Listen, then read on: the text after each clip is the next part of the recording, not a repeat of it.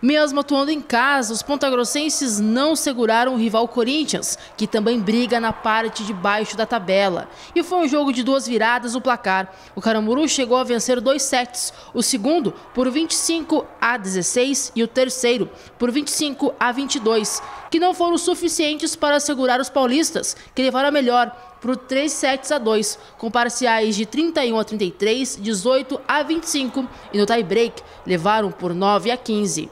Apesar da oitava derrota na competição, o time comandado pelo técnico Fábio Sampaio somou um ponto, o que não muda a situação do Tigre na tabela. A equipe está na lanterna.